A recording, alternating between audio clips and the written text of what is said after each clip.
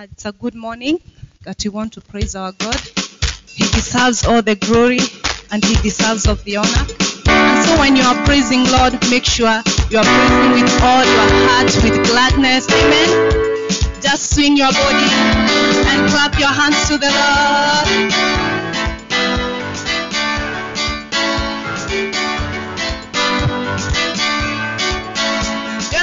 something today in the house of the Lord today in the house.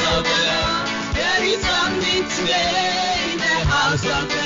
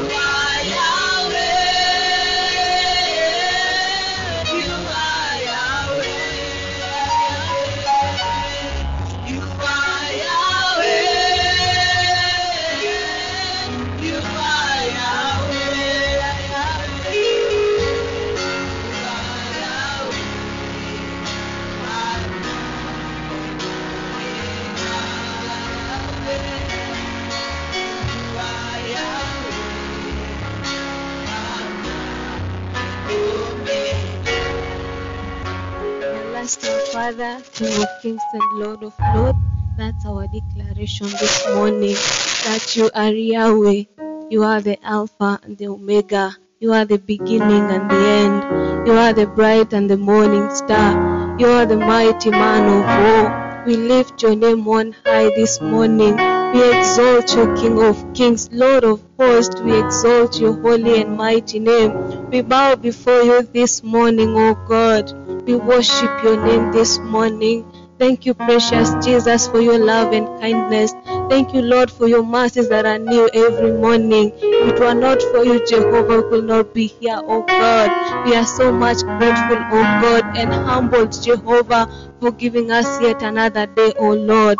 We do not take it for granted, my Father. We pray that your good and your perfect will may be done in our lives, O God, as we keep on surrendering unto thee, O God. You show yourself strong, my Father.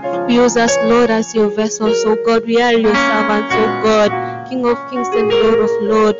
We need you, O God. Have your way, my Father. Have your way, precious Jesus. I thank you, Lord, even for the word that we are about to receive, O God.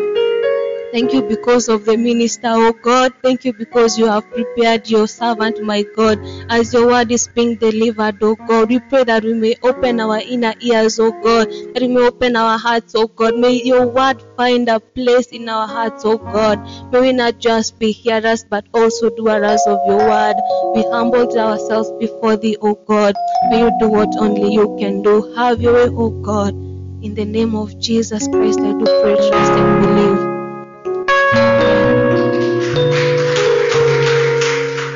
God. Praise God again. I'm Mr. Mwangi. Our reading for today is the book in the book of Revelation, chapter 12, from verse 1 up to 12. In the book of Revelation, chapter 12, from verse 1 up to 12. And I will read. A great and wonderful sign appeared in heaven a woman clothed with, a, with the sun, with the with the moon under her feet and a crown of 12 stars on her head. She was pregnant and cried out in pain as she was about to give birth. Verse 3 Then another sign appeared in heaven an enormous red dragon with seven heads and ten horns and seven crowns on his head. He still swept a third of, of the star of, out of the sky and flung them to the earth. The dragon stood in front of the woman who was about to give birth, so that he might deliver her child the moment it was born. She gave birth to a son, a male child, who will rule all the nation with an iron scepter, and her child was snatched up to God. And, and to his throne the woman fled into the desert to place prepared for her by God where she might be taken care of, of, of to be taken to be taken care of for 1,260 days. And there was a war in heaven. Michael and his angel fought against the dragon, and the dragon and his angels fought back, but he was not strong enough. And they lost their place in heaven. The great dragon was held down, and the ancient spent called the devil on Satan who led the whole, the whole world after he was head to the earth and his angels with him. Then, then, then I heard a loud voice in heaven say, Now have come to the salvation and the power and the kingdom of our God and the authority of his Christ. For the accuser of our brothers who accuses them before our God and our God and day and night has been head down. They overcome him by the blood of the Lamb and by the word by the word of their testimony. They did not love their life so much as so as, as to shrink from death. Therefore rejoice your heaven and who dwell in them, but all the earth and the sea, because the devil has gone down to you. He he is filled with fury because he knows that his time is short. That is the word of the Lord. Thanks be to God. Thank you, Esther, for reading well. Notices. For a few minutes, I promise to obey all the other protocols. I'll keep distance, and I have already sanitized. Bwana asifiwe. My name is Jau Geshia. The Lord is my personal savior. Today we have read the reading from Revelation chapter number 12, verses number 1 to number 12. The other readings which were set for today were Psalms 119, verse number 65 to 88, and the book of Isaiah 44, chapter number 24, chapter number 44, verse 24 to chapter number 45, verse number 8. The topic for today is knowing the enemy. The topic which we are going to learn about in a few minutes is knowing the enemy. And all of us, we have once in a while come across enemies in our lives because enemies are everywhere. And today we would like to know who this enemy whom we want to discuss is. We want to know who the enemy is. We also want to know how he looks like. We want also to know why he is the enemy. And also know why should we know our enemy. We would like also to know the weapons our enemy is using and what harm the enemy whom we are going to learn about brings to us. And finally, we also know how to conquer this enemy. From that chapter, or from the text we read today, the text is divided into two. The first six verses are telling us about this great enemy who is fighting us all the times. Whereas the second part, verse number 7 to verse number 12, is telling us victory over this enemy. And this is where we learn about the few characters in this text. We are told about a woman, we are told about the sun, we are told about the moon, we are told of a child who was being born, we are also told about the dragon. And this enemy whom we are learning today is the dragon. And the dragon is given other names in the text. He is called the devil, he is called the serpent, he is called the Satan, he is called the evil, he is called the father of all lies. Those are some of the words which we have learned today. And then we learned that this enemy, there was great war. And the war was between the demonic forces and the forces of the angel. The angelic forces or the forces from the God side. And then on the other end, we have the forces of the Satan. We are going to learn two things, and one of the things is that the enemy Satan is very dangerous. That is the bad news we are going to learn today. That we have an enemy who is extremely dangerous. Then at the same time, we are going to learn the good news that this dangerous and extreme dangerous enemy is defeated. Let us start with the dangerous part of it. We start with the bad news. The bad news says that Satan is extremely dangerous. And that is why sometimes when we sing, and we always sing, it's a common song which we say, "Sat- shetani akija, zote tuko tayari. Akija mbele yako, kanyaga. Akija nyuma yako, kanyaga. In the real sense, Satan is not there to be kanyagod by us. He is more stronger than sometimes what we think about. What are the evidences? The Bible calls him a dragon. In Kiswahili, they call him joka kubwa, a big snake. He has ten horns. He has seven heads. And he has a big tail which he swings and sweeps a third of the stars. And in verse number 12, we are told, Woe unto you, because when he comes, he can easily torment us. His work is to destroy people. His original work at the beginning was to destroy Jesus Christ. That's where we are told that he was waiting for the child to be born so that he could take him and kill him. That is what he was doing at the beginning. And if that person was there to kill Jesus, that means this person is very dangerous because he wants to kill or to derail the plan of God. He is also there to destroy God's people. That is how dangerous he is. What forces does he use? One, we are told that he is a deceiver. He lies or leads people astray. He tried Jesus in the wilderness. He deceived Eve in the Garden of Eden. He keeps on deceiving people, on lying to us. And that is why in John 8, chapter, verse number 44, Jesus calls him the father of all lies. He is very persuasive, just like a salesman or a saleswoman. He pushes us and deceives us to get into evil. Number two, he is an accuser. He is ever there accusing us day and night. Day and night, the devil keeps on accusing us so that we lose the focus and we stop being effective and productive in God's work. Anytime you are accused, your esteem goes down. This is what the Satan keeps on telling us. He keeps on accusing us, reminding us about the past, reminding about all those things we have ever done, so that we fail to move on. So, this also, our Satan keeps on attacking God's people. Each and every time we find him attacking, attacking. And that is why the Peter says, the devil roams aloud like a roaring lion, seeking for somebody to devour. That is his major work. Looking, moving loud, trying to kill us. That is how dangerous the devil is. The second part is the good news. This dangerous man is defeated.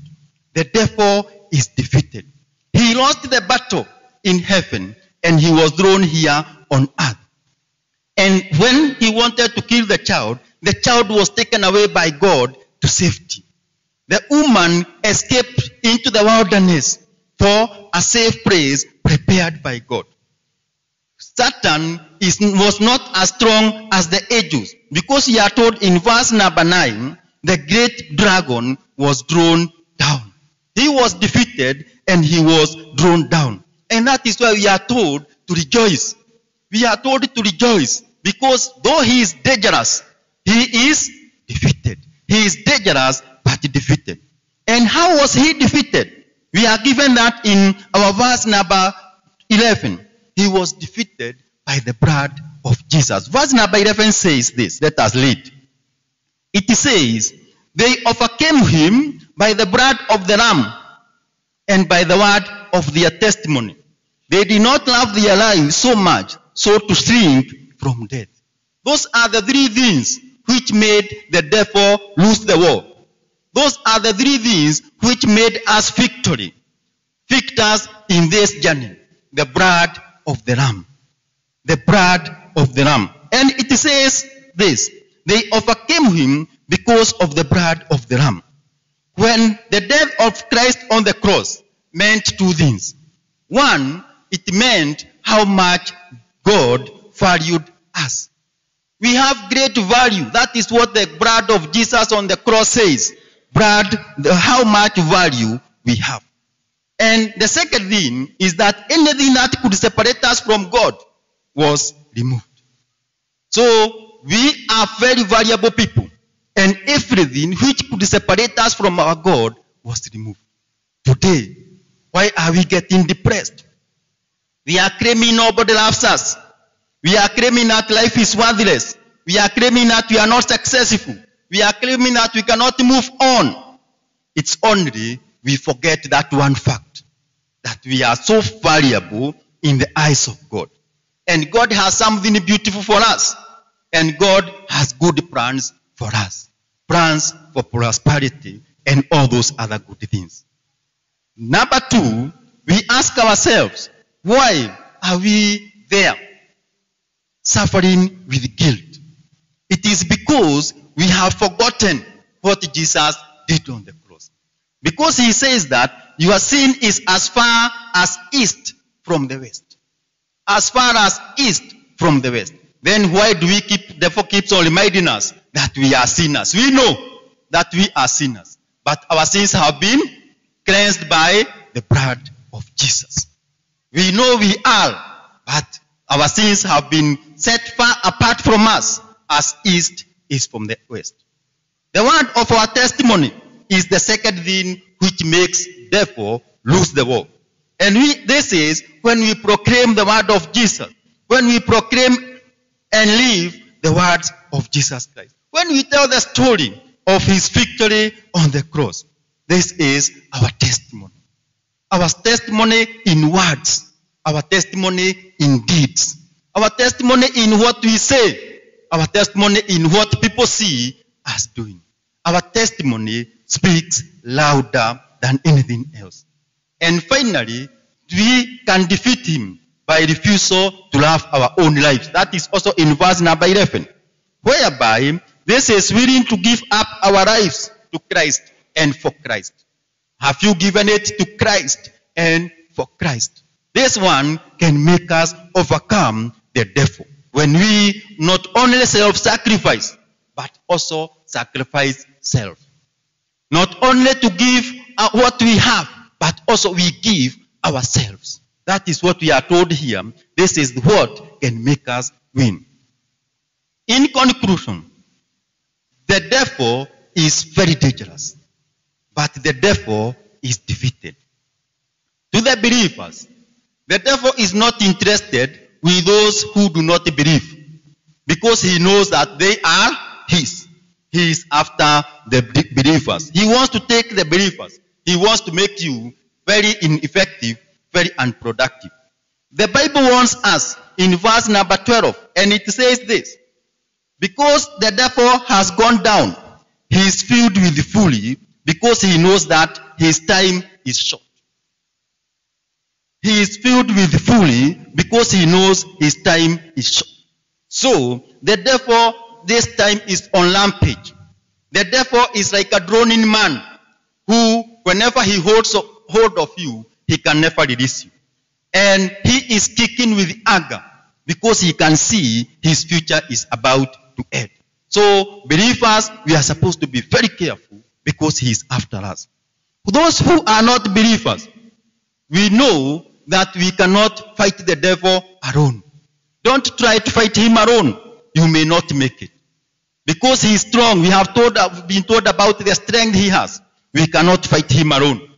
But when we are in Jesus, he cannot touch us.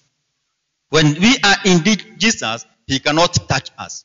When we are not with Jesus, we are defenseless and we might easily lose the battle.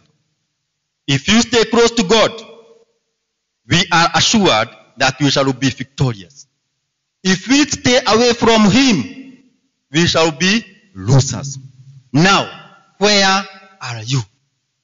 This morning, where are you? Are you where Satan wants you to be? Or you are where God wants you to be? In which court are you playing your games? Are you playing your games in God's court? Or you are playing your game in the dragon's court? Who, which father are you serving? Are you serving the Almighty Father in heaven? Or you are fight, serving the Father of all rise? The Almighty Father in heaven or the Father of all rise? You cannot defeat him alone. You need the blood of Jesus. In the name of the Father, the Son, and the Holy Spirit.